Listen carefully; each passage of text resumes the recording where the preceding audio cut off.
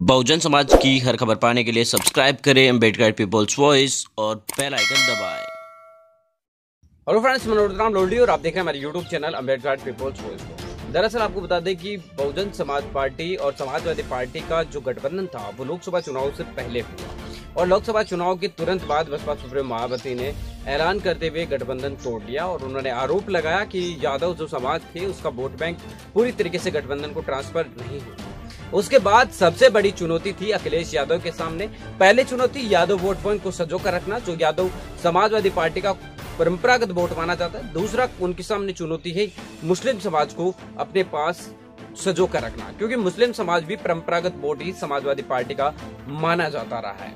लेकिन इस बार के जो उपचुनाव होने हैं, इन उपचुनाव के अंदर अखिलेश यादव की जो मुस्लिम वोट बैंक की परंपरागत छवि रही है उसको बचा कर रखने में काफ़ी ज़्यादा तकलीफ़ या ज़ोर आने वाला बहुत ज़्यादा मेहनत करने की ज़रूरत है। इसका एक कारण मैं आपको बता दूँ कि लोकसभा चुनाव होने के बाद बसपा सुप्रीम महापति ने दानिश अली, जो कुंवर दानिश अली थे, उनको पार्टी के अंदर काफ़ी ज़्यादा बड़ा ओहदा दिया, मुख्य सचेतक उनको बनाया। लोकसभा के अंदर पूरे हर मुद्दे बोलने का उन्हीं को मौका दिया जाता है। लोकसभा में तमाम पार्टी की जो बातचीत होती है, वो दानिश अली ही रखते हैं। साथ ही दानिश अली बाकी जो ऑर्गेनाइजेशन है छोटे बड़े उनके कार्यक्रमों में भी जाते आते रहते हैं। तो उनका जो दलित, पिछड़ों और मुस्लिमों के बीच जो उनका कॉम्बिनेशन है, वो बहुत शानदार है। दानिश अली एक बहुत अच्छे लीडर रहे कर्नाटक के अंदर जो एच डी देवगौड़ा है, उनकी पार्टी के अंदर, अब वो बसपा के साथ है, क्योंकि यहाँ पर उनकी पार्टी का संगठनात्मक ढांचा नहीं था। इस वजह से उन्होंने बीएसपी ज्वाइन की। बीएसपी ज्वाइन करने के बाद दबरोवाला से चुनाव लड़ा और वो चुनाव जीत कर आ गए। उसके बाद बसपा सुप्रीम मायावती ने भी उनको बड़ा अहदा दिया। पार्टी का हर मुद्दा उन्हें लोकसभा में उठाने का, चार जूनी को, यानी मुख्य सचेतक वही हो गए। इसकी वजह से उसके बाद बसपा सुप्रीमो मायावती ने मुसलमानों को अपनी तरफ़ आकर्षित करने का कोशिश शुरू कर दी। वहीं इस बार बहुजन समाज पार्टी से जो मुस्लिम सांसद जीत कर आए हैं, उनकी संख्या भी अच्छी खासी है। समाजवादी पार्टी के हिसाब से देखें तो तीन ही समाजवादी पार्टी के हैं, तीन ही बहुजन समाज पार्टी के सामने है।